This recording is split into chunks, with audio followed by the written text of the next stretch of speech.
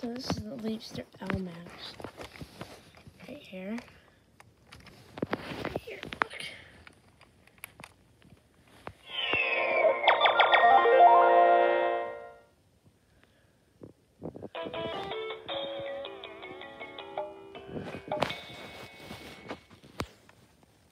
If you see your name, touch it with the pen.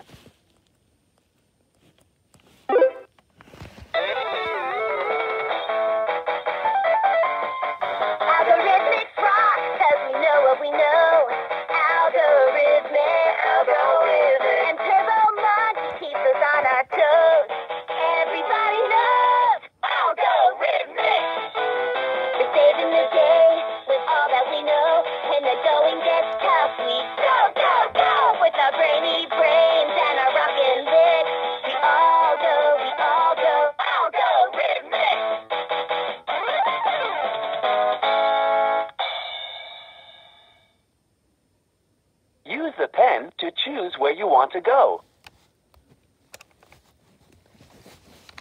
Dang.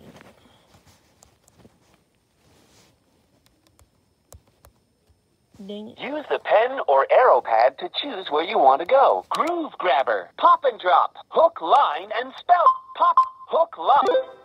Hook, line, and speller. Looks like a nice day for fishing. Fishing for words. Use the arrow pad to move your boat left and that's right. That's basically it. I mean, there's not much to do. This game's kind of boring to me. So,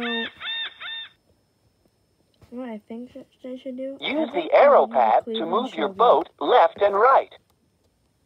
I think they should do the Cleveland Show game on here. I don't know.